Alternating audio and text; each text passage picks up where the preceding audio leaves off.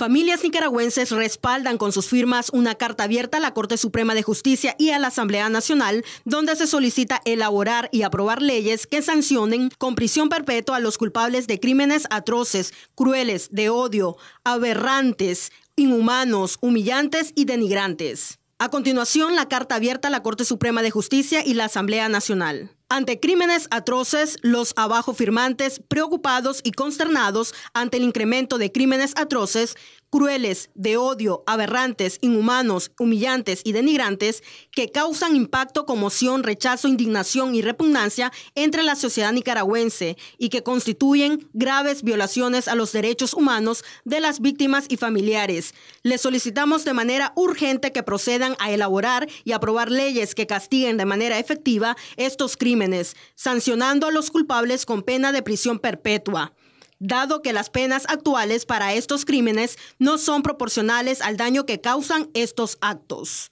Para Crónica TN8, Elizabeth Mendoza.